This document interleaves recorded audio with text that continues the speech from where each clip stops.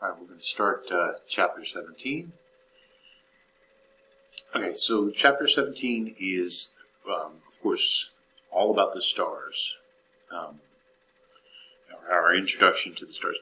Uh, one of the things that I should mention right away, I mentioned this um, in the last chapter, in chapter 16, which deals with the sun, is we'll, we will inevitably compare the stars, other stars, first in our galaxy and then in other galaxies, to our sun. And, and we will almost always rely on that. Are, are, the stars more massive than our sun? Are, are they hotter? You know, is, is their surface temperature higher or lower than our sun? Um, the luminosity, you know, you know how much uh, how much energy is coming from that star.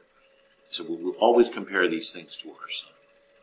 All right, so uh, we're going to start with our solar neighborhood. So these are like the immediate stars around, you know, let's say about 100 stars or so around our, around our sun, which is just a small, small drop in the bucket when it comes to all the stars in our galaxy. We'll talk about luminosity and apparent brightness. Um, the apparent brightness basically is how bright the star appears in the night sky luminosity is how much how much how much energy is coming off of the star, or how much power actually. But um, anyhow, it's it's it's as though you were um, you know thinking about like a, a hundred watt light bulb, and then you know it, its its brightness would get would get smaller as you get further and further away, according to you know the, what's called the inverse square law, which of course we studied in laboratory. All right, so uh, then we'll look at stellar temperatures. Remember, uh, Wien's law tells us the surface temperature of the star. Um, we'll talk a little bit more about the magnitude scale, the sizes of stars. Um, there, there's uh, different ways of estimating the, the, the size of the star. Uh, then we'll turn to a huge tool in astronomy when it comes to stars, and that's called the HR diagram, or the Hertzsprung-Russell diagram look at that in, in extensive detail, and we'll probably be using that for most of the rest of the semester, as a matter of fact. Uh, we'll use it in different manners. Um, then we'll, we'll extend our, our, distance scale and start thinking about um, distances, um, you know, beyond the, the local neighborhood of, of, stars out into our own galaxy, and then certainly the distances to other galaxies. Um, we'll talk about stellar masses, uh, you know, how do how do you uh, how do you measure the mass? There's there's ways of measuring it directly, especially if you have these binary stars. If if one or more stars are orbiting each other, then then uh, calculating the mass is is done with uh, with Kepler's uh, third law. Um, so, all right, and then we'll close out with mass and other stellar all right, so let's get started. So the first thing, and we did have a lab on this. I, I know I keep mentioning that. I mean, there's a reason that we have these labs, is so that you guys can see um, for yourselves the, the, the experimental uh, method at, at, determining these kinds of things. All right, so so uh, you know this is the basic idea: is as the sun. I mean, this is how we started this particular um, di distance use, using the the stellar pair using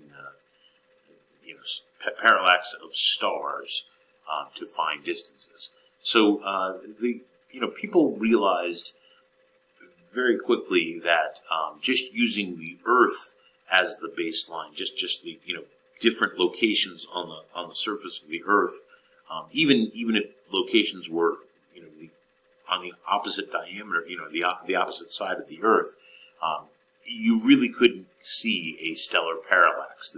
There was no star close enough that you can actually see that, um, at least at first. Uh, anyhow, uh, it, and so this all goes back about 200 or so years. And uh, people realized that, uh, astronomers, of course, realized that you could use the Earth itself as the, the, you know the Earth's motion around the sun as the baseline as it as it's showing, you know, right here. So you know, you look at the you look at the star, um, some distant star, and what you're doing is you're looking at the star compared to where it is against some background of much more distant stars. And, and that's actually really important, the idea that it has to be much, much more distant stars. Um, so, so you, you really only do this with uh, relatively nearby stars. I think it'll go out to uh, just using the the Earth, uh, the Earth's orbit. It goes out. I think we can go out to about 200 parsecs or so. All right. So anyhow, that's that's stellar parallax. You know, you look at the star, and then six months later, you just look at the star, and if it shifts you know, look at this bottom picture, right? It, it's shifting with respect to the background of stars. When you look at the, you know, the, the star of interest is shifting with respect to much, much more distant stars, right? And so you, you know, you measure that that uh, that shift. You measure the angle that it is, and of course, you know what the baseline is. Um, and, and nowadays, of course, we know we know what that baseline is in in meters and of course in, in kilometers as well. Um, and then so we can find the distance to stars. And um, so the nearest star uh, to the sun, you know, outside of our sun that we've that we've found so far, um, and and this was discovered a long, long time ago. Uh, if there are any closer stars, that it would be a very big surprise in astronomy.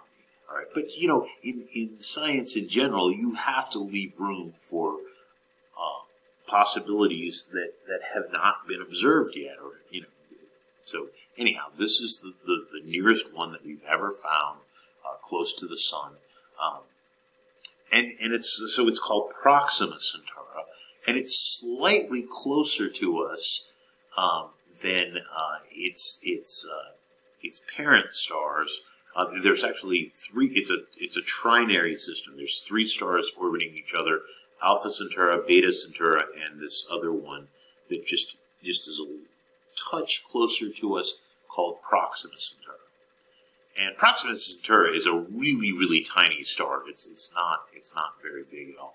Um, Alpha Centauri actually is of great interest to us because it seems to be very very similar to our sun uh, as, as we're, we're going to see. Um, sometimes, you know, it's, it's one, wonderful enough to talk about the fact that the, you know, these stars are more than four light years away. That is, it takes light, the fastest thing in the universe, more than four years to, to cross the distance between uh, Proxima Centauri and, of course, and Alpha Centauri and Beta Centauri uh, to reach to reach our telescopes here on Earth. Right, so that, that's a lot of space. But to give you a better sense of that, um, a lot of times we will use a model, right? And so these models, um, you know, this is this is a perfectly good model. Um, so you take, for example, the sun is the size of a marble, just an ordinary marble, not the large marbles. If you know what I'm talking about. Um, so, so just a tiny little marble, and then the Earth is basically like a grain of sand.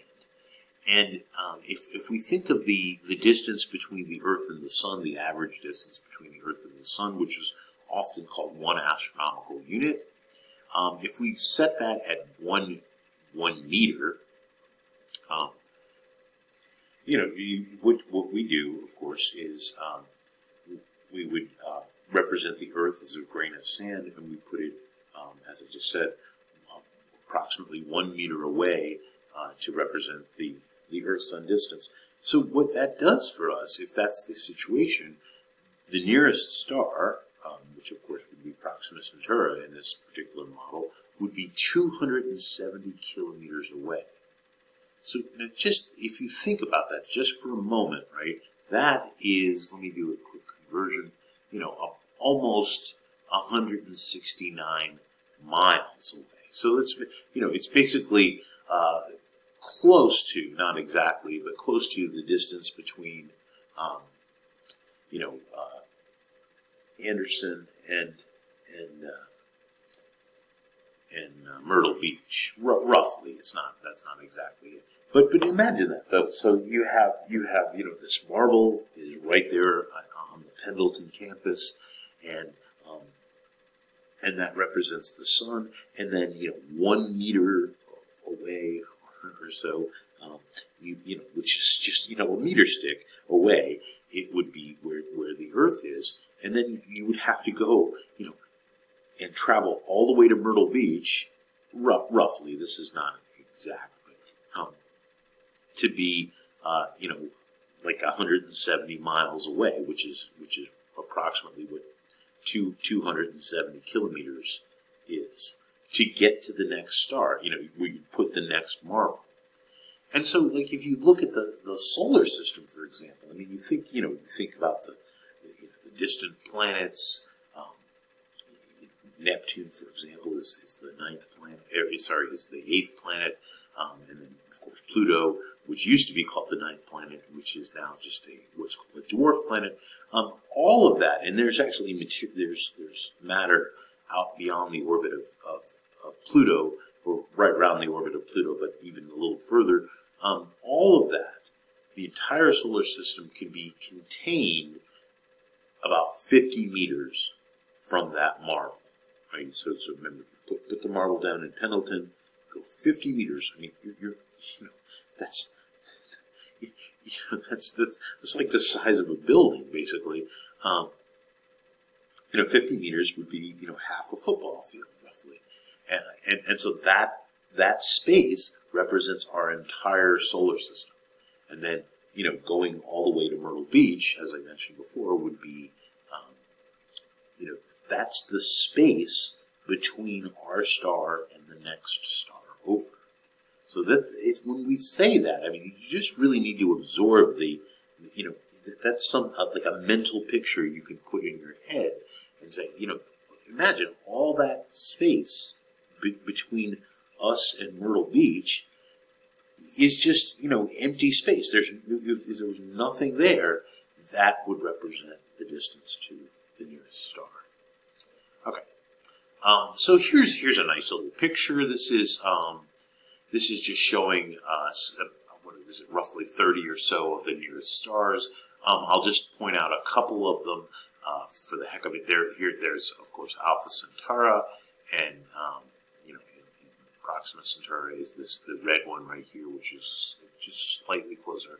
The, the, right in the center of this is is our sun, and then you know this this is of course in three dimensions. Um, that uh, you know, it's not obvious um, in, in, when you're looking at this picture. Um, the next star system. So Alpha Centauri, you can consider a star system. That's the nearest, you know, these, this trinary system. Um, the next nearest one is called Barnard star. Right, so that that's that's right here, as it's showing. Um, another close one is uh, Wolf um, 359. Where is that? Uh, this picture. Uh, there it is. Wolf 359. That's that's a uh, another relatively close one, Tau Ceti, which is, oh, there it is right there. Um, uh, what's another one? Uh, Epsilon Eridani, which is, oh, right there, right there. Yep, so that's another one. Um, I mean, these are these are just some of the near nearby ones. Uh, Procyon actually is a particularly particularly bright star that you can see in the night sky. If you look and uh, you know if you know where for example, um, the, the Orion is.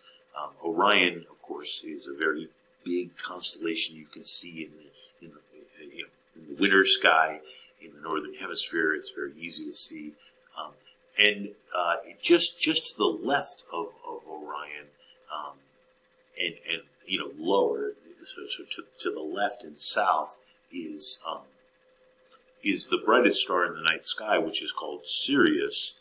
Um, and, uh, and then there's another bright star that's not too far, you know, just looking up in the night sky, uh, called Procyon. And Pr- Procyon is actually turns out to be physically relatively close to us, as, as it shows here.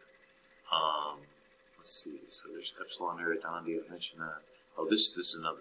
I, I was pointing at the wrong thing. This is Epsilon uh, Indi. Um, so there's Epsilon Eridani. All right, and yeah, so these are these are some relatively close ones. All right. And, uh, as I mentioned before, there's Bar- Barnard star.